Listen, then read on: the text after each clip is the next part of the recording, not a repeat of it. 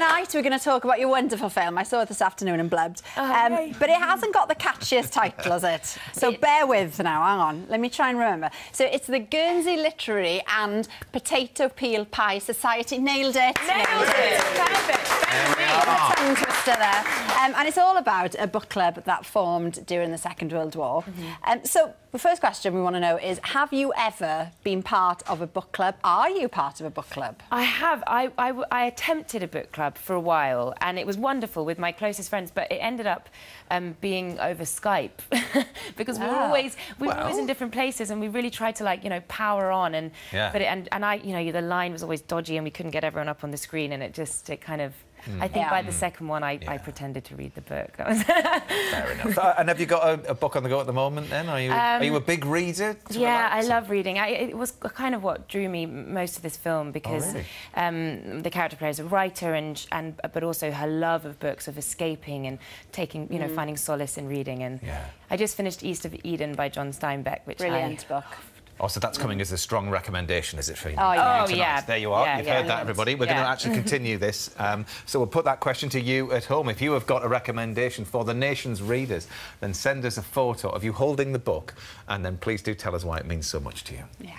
Now, it seems we're losing our appetite for restaurants, which are part of big change. Directed by Mike Newell, who directed Four Weddings and a Funeral and what have you. So I understand you were quite taken when you read the script initially. It had a, a big impact on you. yeah? Yeah, I was. It was the characters in it are so vivid Yeah. and unique, and you really fall in love with them in an instant. And um, and I also was really, really moved, and it, and I, I cried reading the script at the end. and Did you? I'm not surprised. Yeah, it kind of carries you away into this world, and there's so many different sort of. Uh, it's about sort of unlikely friendship and family, and and it just it really struck a chord with me. Yeah. And Guernsey was occupied by the Nazis between 40, 1940 and 1945. And as we see in the film, the residents had a really rough time there, didn't they?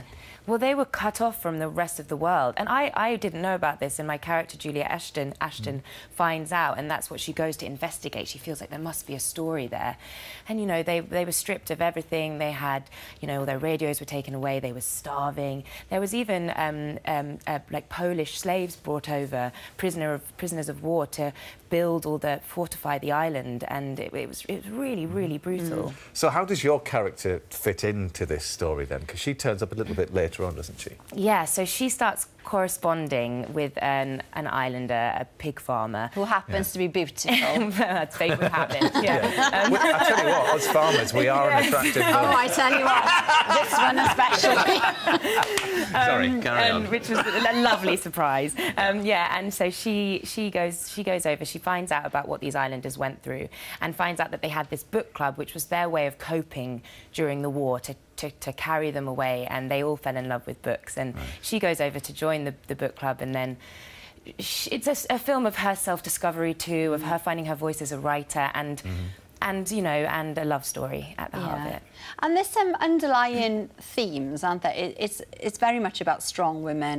and uh, and equally is following her own path. And it's um, they're really brilliant women, and and it was such a, a privilege to play her.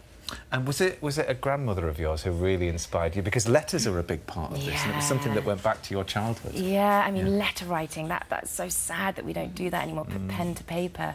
But mm. yeah, my granny was a young girl in France when it was occupied during the war, so I've heard lots of her stories, and I, I you know, I love her so much, and I feel sort of mm. a deep connection in that respect, and um, yeah. When you watch the film, though, you really do think, who do I know I could write to? And so how will you feel about going there? You must be looking forward to seeing Oh, it, I'm, and, you know. s- I'm so looking forward to it. They've been so supportive throughout making this film and really been a part of it. And so to go there and have a special screening there with all the local islanders and Yeah. because the, the place is so at the heart of this film. It's such a magical Yeah. place.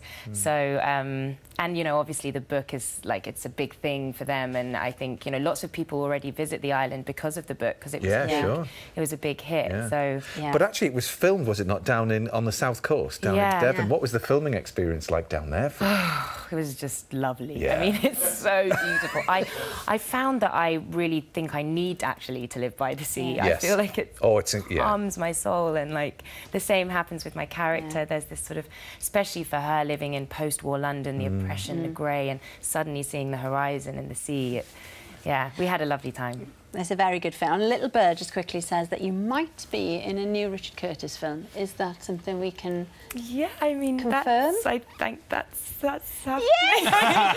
oh, I don't know what it's Looking for... OK, that's enough. Seriously, I mean, things are going great for you, Yeah, they, they at the moment? So many movies, so much great success as well. Oh, Must be thank absolutely you. delighted. Yeah, I'm, I, it's, I'm, yeah, I feel very lucky. You light the screen up, Lily. Oh. Lovely. Well, now. Uh,